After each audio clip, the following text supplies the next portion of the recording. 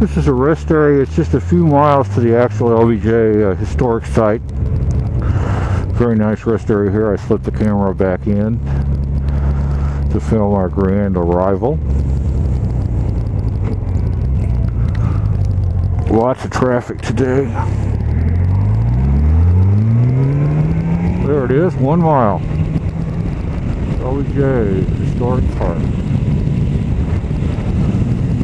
Uh, certainly, uh, President Johnson uh, was uh, a tragic figure, very lar- much a larger than life individual. He's a local boy, grew up in Johnson City, the town just behind us a couple of miles. Uh, went to what was then Southwest Texas State Teachers College, now it's Southwest University or something. And he, uh, his first job was teaching in, I think, the elementary school in Johnson City, and then he got into politics and wound up president. Uh, he's the one who really got us into Vietnam, and I don't know why. Here we are. Here's the park. Here's the park. This is his ranch. This is his ranch. And he came out here a lot when he was president, and of course retired here. He passed away, I believe, in 1971 or two, because uh, uh, I was uh, staying living in a dorm at the University of Texas at that time, and he laid in state in the uh, uh, uh, there at UT, and I remember that. There's not a lot of people here. I guess that's the visitor center down there. As a park hunter, we we uh, park stamp hunter. We definitely want the uh, know the want to know the visitor center.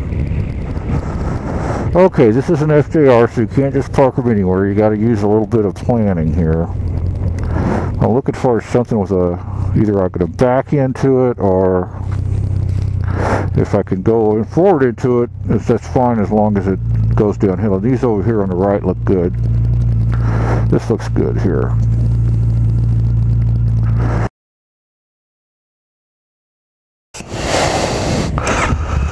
All right.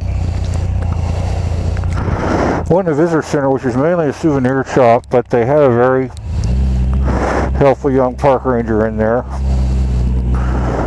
who uh, kind of gave me the rundown on what's here. Uh, so we're going to drive over to the ranch itself. There's several things to see and do here at the LBJ Ranch. This is uh, this is President Johnson's uh, final resting place. Uh, he's the one on the viewer's right. The larger of the tombstones, the one on the left, is Mrs. Johnson, and the rest is other members of the Johnson family. Uh, they've picked a spectacularly nice funeral plot with these gigantic, you know, century-old oak trees. And over there, just beyond the uh, the little rise, there is the Pedernales River. And I think this is his boyhood home across the street, so we'll look at it. Boy, that's a nice bike there. Look at that bike. Golly. Who wouldn't want to have a bike like that? Okay, folks, what we're looking at here is uh, President Johnson's guest house on his ranch. This house was closely patterned after the house he was born in, which was torn down in the 40s. This is what you call a dog run house. Has, you know, basically two sides to it with a big breezeway uh, with a, a, a, large breezeway in the center and the pioneers in Texas found uh, this was the best way to build a house uh, before air conditioning because the any breeze would kind of it creates kind of a wind tunnel there in the uh, in the breezeway makes it a little bit cooler uh, I've often dreamed of having a house just like this when I retire you know if I ever can retire there was a time when I thought I could retire, but that's a subject of another video. But this is a beautiful thing. Mr. Johnson had this built as a guest house. It is a, a close replica of the house that he was born and grew up in. Uh, his dad, I, I, didn't know that until I got here, was a state legislator, so he was born into a political family, which seems like lots of presidents are.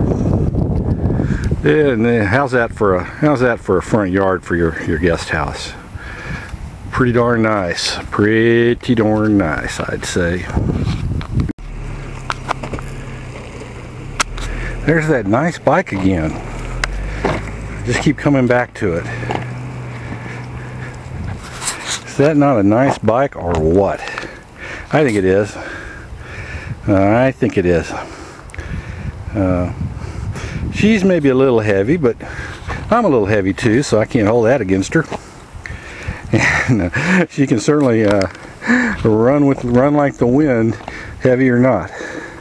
Okay, well, we visited the Johnson Cemetery and the, the Johnson Guest House. Uh, so let's go see the uh, the Texas White House and the uh, airport they have here.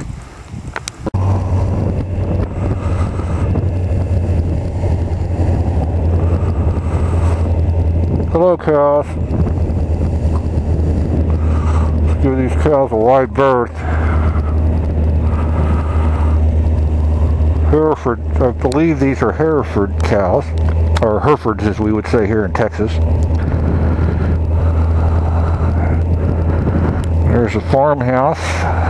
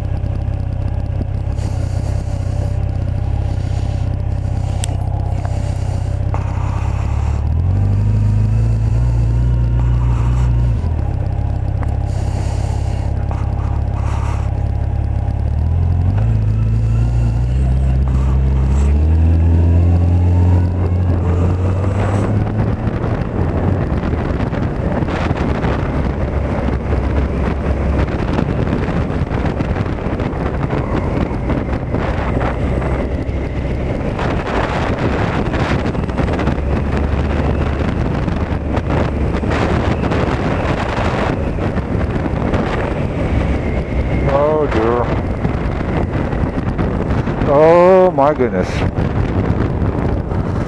I hope that guy on the right doesn't panic and run right in front of me.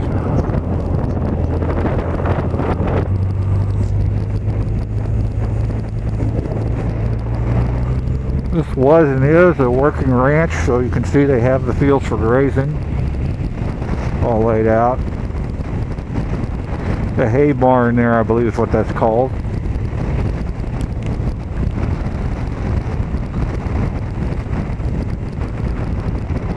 Okay. It's called a deer fence there to the right. You see that where uh, ranchers a lot of times have hunting leases and they, they want the deer to stay on their property. So they put those tall fences up that it's harder for the deer to jump over. Keeps in there. A lot of times uh, you'll see exotic game ranches for hunting here in uh, in Texas where they'll have uh, not just deer, deer, but uh, you know, elk and uh, uh, impalas and all kinds of exotic animals for people to, to kill for the sport of it, which is a concept that's kind of always eluded me, but a lot of people enjoy it, and who am I to say they're wrong?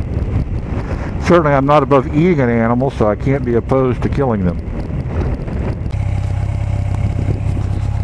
Okay, I pulled over you look real close, you can see the wind, what we call the wind triangle. It says LBJ on it. That's the tail landing airplanes.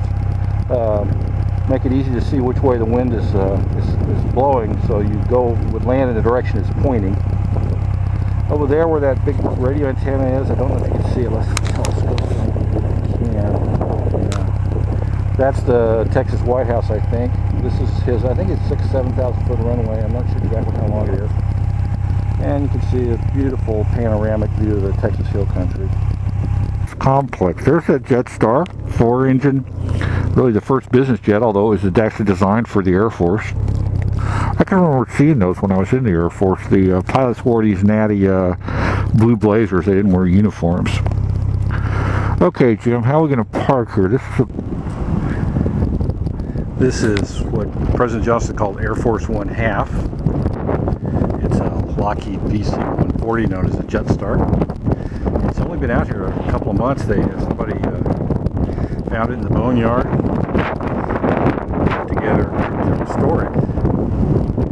Uh, notice the, the two engines there at the tail, two on each side. Big fuel tanks. This thing didn't get good mileage, but you know we're talking 1960 here. So it's 50 year old technology. Still a pretty uh, pretty capable airplane if you have the uh, you know the credit card that can buy the the fuel for it. Although these are quite noisy, and noise is what kind of do, done away with it more than anything else. There's lots of airports won't allow these in because they're so noisy. Uh, VC-140, Lockheed Jetstar, of the type often used by President Johnson.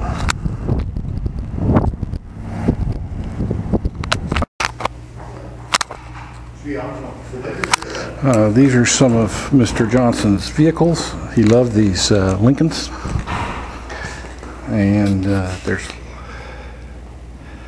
lots of stories about how exciting visitors had when he'd put them in that car and drive them around the perimeter.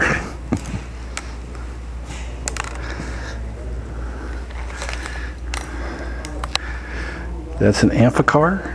It's amphibious, made in the 60s.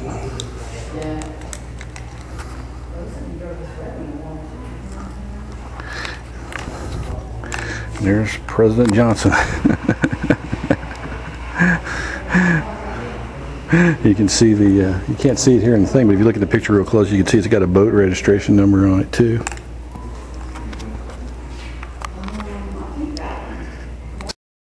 remote White House in the United States. He spent about a quarter of his presidency out here, but it's not really for vacation, it's very much so for business. There are 72 phone lines inside the house. All these TVs, technologies that made it possible for him to keep in touch with DC. He supplies staff, world leaders out from uh, DC out on Air Force One. They land there on the airship, come out here to have meetings. And sometimes they take place inside the house, other times over there by the pool. He likes to swim during his meetings. He actually had a phone line that went from the house into the pool, a little inner tube with a phone inside the inner tube, so he could swim and talk on the phone at the same time. A lot of times, like having meetings right here on the front lawn underneath that live oak tree. So if y'all will join me over there by that sign, we'll see what one of those meetings used to look like.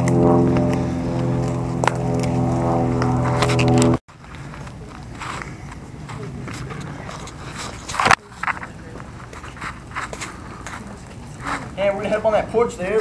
Stepping into the office and back in time to 1960s, and this was that remote working White House. Now your digital cameras were not invented back then, so you cannot use them inside. You got one of those old school cameras, you can't use that either. Now come on in. His administration and talk about a lot of his legislation inside. Uh, it's inspired by FDR, Harry Truman, and the Great Society might have made LBJ a great American president, but he is typically remembered for something else that dropped his presidency, the, excuse me, the Vietnam War. Y'all probably know people that fought, died over there. Didn't hear the war to some degree. Truman, Eisenhower, were sitting by over there, but Johnson definitely escalated the war. All the talking happened by 68, half a million protests, shouting from the White House, hey, hey, LBJ, how many kids you killed today? Well, this completes our visit to the LBJ Ranch. Hope you enjoyed it. It's a very interesting tour. I, I highly recommend uh, that uh, anybody interested in uh, seeing some beautiful uh, kind of te- early Texas architecture, uh, beautiful ranch, uh, a lot of information about a very interesting president. You ought to come on down here. Y'all here?